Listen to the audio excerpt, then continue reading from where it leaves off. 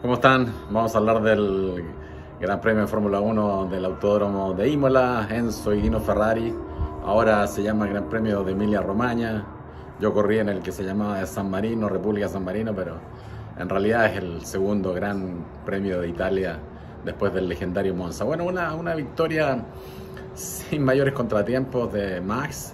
No hubo mucho drama, dominó desde, desde la largada hasta el final pero pasaron bastantes cosas. Digamos primero que un, toro roso le ganó al, caballo, al caballo negro de Ferrari. Eh, eh, entre paréntesis, contarles una pequeña anécdota cuando, cuando corría para Ferrari en, prototipo en, Estados Unidos. Bueno, muchas veces estuve ahí en Maranello y, una de las trivias que siempre preguntan es de, cuál es el, color de Ferrari. Bueno, la, la primera respuesta obvia que uno dice es rojo pero no es así, el color de Ferrari es amarillo, es el, es el escudo que, que, Don Enzo eligió ahí con ese, con ese caballo que, que era uno de los, del emblema de, un piloto de la Fuerza Aérea de la, de la Guerra Mundial.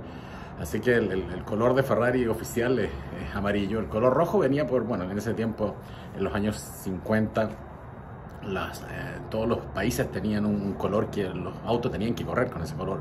Por eso, bueno, Ferrari era rojo, Alfa Romeo también era rojo, estaban los, Lotus, British Racing Green, que era el color, el azul Francia, así que, pero hoy día los, los Ferrari amarillos, los Ferrari rojos perdieron contra los, contra los Toro. Una de las cosas importantes de hoy día fue mm, que la pista estaba eh, ligeramente mojada, eh, todos decían que iba a llover, pero bueno, se fue secando y todos pusieron neumáticos slick eventualmente. Cuando, lo que pasa es que los neumáticos de lluvia que tienen eso, ese dibujo, bueno, eso cuando, cuando se seca la pista, eso se desgrana muy fácilmente. Yo alguna vez también me pasó, dije, ah, estos van a seguir y al final los, estos, los neumáticos se desgranan y es lo peor de lo peor. Entonces los pilotos cambiaron rápidamente, partieron con Ricardo en, en McLaren, ahí todos se dieron cuenta que los, que los slick eran el mejor, pero eso no contribuyó mucho al espectáculo, ¿por qué? Porque había igual, ¿no es cierto?, la línea seca, pero si, eh, si uno quería adelantar a otro auto cuando estaba la, línea que todavía estaba mojada, porque no pasaban los autos, entonces era muy difícil jugarse fuera, fuera de la trayectoria. De esa manera, además no había DRS por, al principio, hasta la mitad de la carrera más o menos, por, eh, porque toda la, pista obviamente estaba peligrosa por, por, la, por lo del, por lo que estaba pasando con la lluvia. Así que no, no hubo mucho mucho, muchas peleas en, la mitad de la tabla, pero sí, digamos que a propósito de peleas, hablar de, nos han preguntado algunos de, cómo es la relación entre los compañeros de equipo. Bueno, decir de que la pelea con el compañero de equipo es la más brutal de todas. ¿Por qué? Porque es el único que se supone tiene el, mismo equipamiento, tiene, tiene los mismos medios mecánicos que, el, piloto. Entonces han habido peleas históricas, yo diría que la, probablemente la más relevante de la historia pues, pasó precisamente ahí, hace 40 años, en Imola. Eh, ganaban la Ferrari, estaba, estaba Didier Pironi, el francés, y Gilles Villeneuve, el canadiense eh, Gilles entendió que tenían un acuerdo en el equipo de, que no se iban a pasar en las últimas vueltas, pero Pironi ¿no agarró una succión, lo pasó a Villeneuve, le ganó la carrera enfrente de los tifosi. Y, bueno, Gilles quedó indignado, hay fotos ahí en el podio que está realmente con mala cara. Y eso desencadenó, entre paréntesis, hay un, chileno, Salazar me parece, salió quinto ese día. Em, bueno, eso desencadenó de que eh, a la carrera siguiente, que fue en Solder, en Bélgica, dos semanas después, Gilles estaba muy, muy picado, muy enojado con, con Pironi. Y Pironi estaba ligeramente en la pole y faltaban siete minutos para que terminara la clasificación. Eh, teníamos como, tal como es hoy día, dos, dos, dos, posibilidades, porque eran dos juegos de neumáticos nuevos y era una vuelta la, que había que hacer. Y se jugó eh, en exceso tratando de pasar uno de los que ya había levantado, que era el, el, march de, de Jochen Mass. Se topó la rueda, salió volando por, el, por los aires en la Ferrari, cayó, eh, se rompieron los anclajes, imagínense, no, no, eran chasis de fibra de carbono todavía, se rompieron los anclajes de, de, los, del asiento y Jill salió despedido. Yo pasé literalmente ahí, algunos que han visto en YouTube de ese terrible accidente, pasé ahí, no sé, unos pocos segundos después y vi a Gilles completamente muerto en el medio de la pista, volví a los, volví a los pits y, y increíblemente esos, esos siete minutos se volvieron a hacer. Entonces, las peleas al final con el compañero de equipo son los, son los peores. Bueno, ya que estamos en, en, un día de historia, les, les, cuento lo que pasó dos semanas después. Dos semanas después corrimos a Monte Carlo, en Mónaco, y había una reunión de la, de la Grand Prix Drivers Association, de los, de los, de los pilotos que, se hacía el sábado, bueno, en ese tiempo clasificamos, clasificaban solamente 20 pilotos en, en Mónaco de 32, así bueno, ahí entramos en esa carrera. Y me acuerdo, eh, Pironi de hecho dice, eh, vamos a pedir los pilotos que, que se deje el número 27 de, Ferrari de, para siempre eh, vacante, ¿no es cierto?, en honor a, a Gilles Villeneuve, un poquito lo que se hace en, en, Estados Unidos, en la NBA, en ese tipo de cosas. Y bueno, yo era pajarito nuevo, era mi segundo año en la categoría, dije, o sea, me, me quedé callado, pero dije, obviamente esto va a ser aceptado. Y me acuerdo, pasan eso esos segundos incómodos de silencio. Y Jean-Pierre Jarier, un francés que corría en ese tiempo, no sé, la me parece. Dice, no, dice porque me parece que si no, de aquí a cinco años se van a acabar los números, porque era una época, bueno, que morían dos, tres pilotos a veces por temporada. Y hasta ahí no más llegó. Entonces, ¿Qué les quiero decir? Esto de las peleas con el compañero de equipo son las, más brutales porque son al final las que determinan si uno, si uno es mejor piloto o no. Nadie puede pretender, ¿no es cierto? Que no sé, porque Albon gane una carrera cuando está en el Williams, pero sí pretenden de que le gane a Latifi o viceversa. Entonces, hablando de compañeros de equipo, bueno, analicemos los, los, equipos importantes, ¿no es cierto? Red Bull, bueno, está claro que Max ese es el campeón mundial, es el que tiene toda una historia con Red Bull es, y bueno, y por eso gana, no sé, 50 millones de, de euros por, por temporada.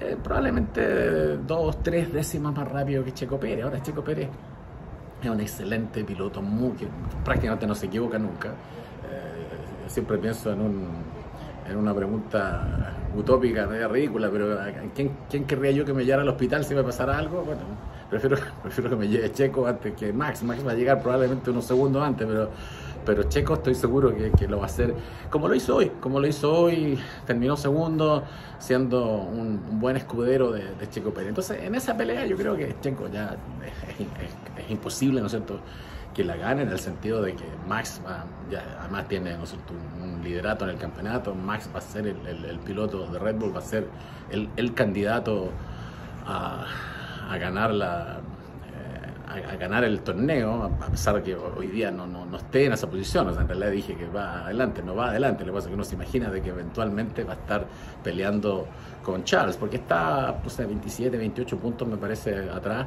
que es prácticamente una carrera. Así que toda esa, esa desventaja que tenía por dos, dos DNF, dos veces que no terminó, eh, se le acercó por por el error que cometió hoy día Leclerc. Leclerc había hecho todo, todo, todo bien, pero en un momento determinado, bueno, precisamente trató de, de adelantar a Checo Pérez, o sea, y la única manera de adelantarlo era salir muy bien de, de, la variante alta, en la parte de arriba de, de Imola para llegar a Ribasa. Ribasa es la última antes de la recta.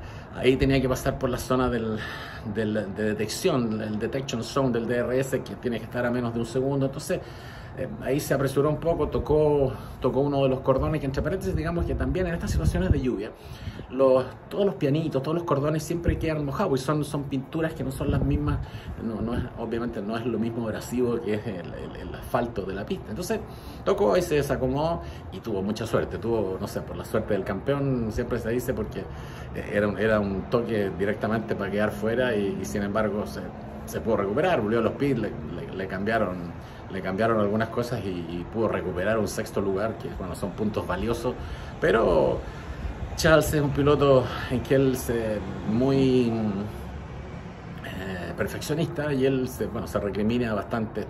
Ahora, ¿cuál es la comparación con su compañero de equipo? Bueno, eh, obviamente que muy favorable a Charles. Eh, Carlos Sainz, como hoy día, ha cometido errores en, las dos últimas clasificaciones. En esta clasificación de Imola se, fue afuera, rompió el auto.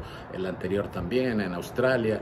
Eh, hoy día en la carrera, claro, lo tocó, lo, tocó Ricciardo, pero en la práctica, ¿no es cierto?, no hizo una buena largada y, no sé, yo me estaría diciendo, si no hubiera estado en esa posición, eh, Daniel Ricciardo con el McLaren no me hubiera tocado. Entonces, hoy día pienso que a Sainz le ha afectado la presión de verlo lo bien que ha andado Leclerc, lo, lo, que se está transformando por lejos en el piloto número uno de la escudería. Firmó un contrato por, por dos años más, Sainz, entonces eso le debería haber dado más tranquilidad, pero lamentablemente este fin de semana no lo demostró.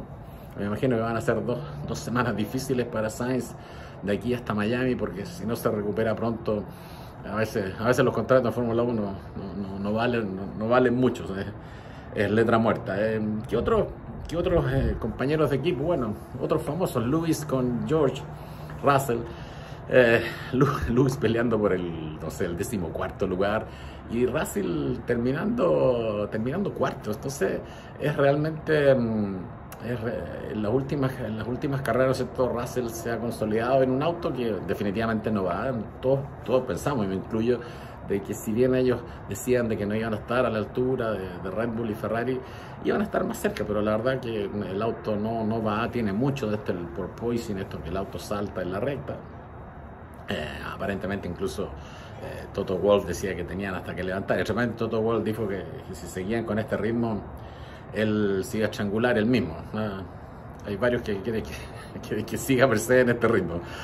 Em, y lo que les decía, o sea, Russell ha sido capaz de sacarle bastante más partido al auto. Me imagino lo difícil, me imagino, pero es inimaginable lo que debe ser para un campeón mundial siete veces estar peleando ahí en el lugar décimo cuarto con, con Stroll ayer, eh, peleando hoy día con Gasly, con Albon adelante de ellos, en un, en un Williams. Entonces es difícil la, motivación. Yo creo que en un par de carreras más vamos a ver si realmente Lewis se, recupera de esto o no, pero si no, bueno, esto es solamente ganancia para, para Russell en el sentido de que en esa, en esa lucha de, interna del equipo, bueno, definitivamente lo ha hecho mejor. Eh, ¿Qué otros más? En, McLaren, Lando, Ricardo, yo personalmente no creo que Lando está madurando un poco. Yo hace, hace, algunos, hace algunas carreras les dije, personalmente a mí no me gusta esta onda de, andar haciendo chistes todo el día en redes sociales. O sea, creo que los, pilotos, los deportistas exitosos en, la historia en la historia del, mundo no, no, no, son chistosos. Schumacher no era chistoso, Ayrton no era chistoso, Jackie Stewart, etc. Em, entonces me parece que hoy día está madurando un poco, pero netamente es más rápido que, Ricardo. Ayer, el, el, año pasado tuvo ¿no cierto? un poco suerte, ya, le he dicho que no creo en la suerte, pero se le dieron las cosas a, Daniel para, ganar esa carrera en Italia. Así que en, en, esa lucha definitivamente no riesta. Pero, ¿qué les quiero decir con esto? Que esa, esa lucha entre los compañeros de equipo es súper relevante, es lo que al final marca que uno pase a una escudería mejor o no. Cuando estás en una escudería de la mitad de la tabla y estás, estás ganándole consistentemente a, tu compañero de equipo, bueno, es una chance real de, pasar a un equipo de punta o si estás en los últimos lugares, pasar a un equipo de la medianía y etcétera. Así que mm, hoy día, ¿no cierto? Vamos, vamos, vamos a Miami digo, vamos a estar ahí. Esta misma nota se la vamos a estar haciendo desde, desde el paddock porque voy a estar en la, en la próxima carrera de Miami, un lugar que aparentemente eh, va a ser espectacular en todo el, en todo el punto de vista del, del, showbiz que va a haber alrededor de la carrera. Además, el, el circuito se presta mucho, va a haber una recta súper larga eh, donde obviamente va a haber DRS, hay dos, dos, dos, rectas de DRS, así que va a, ser, va a ser interesante ver qué pasa entre esta Red Bull y Ferrari, creo que los dos están muy parejos y depende del circuito, depende de, de, de, cómo, de cómo se da, si tiene más curvas eh, rápidas, si tiene, si tiene más recta, menos recta, o sea, el balance ahí entre ellos dos está muy cercano y son dos, tres décimas que pueden ir a un lado o al otro dependiendo de la configuración del circuito y dependiendo también, como lo dijimos en el video anterior, de los pilotos. Al final los autos no se manejan solos y hemos visto que no es cierto que Max, eh, bueno, y Max y Checo esta vez le sacaron el mayor provecho a los Red Bull y los, los autos que eran prácticamente iguales en performance, bueno, no, no le sacaron el mismo provecho eh, Leclerc y Sainz, que Sainz, bueno, no, lo dijimos antes, pero eh, tuvo ese toque, no sé, en la, en la primera, literalmente en la primera curva y, bueno, y perdió absolutamente todos los puntos. Así que de aquí, de aquí nos vamos a Miami, después viene, viene otra carrera en, Barcelona, un lugar sí que, que conocen todos. Y hoy día, les dijimos a principio de año, esto era Max Charles, hoy día están, ya les digo, a, una carrera, o sea, a un, a un desastre más de Leclerc y, un triunfo full canasta completa como fue este fin de semana de Max para que ya la pelea se, se, torne completamente mano a mano. Faltan 19 carreras, así que falta mucho, está entretenido. Nos vemos en Miami.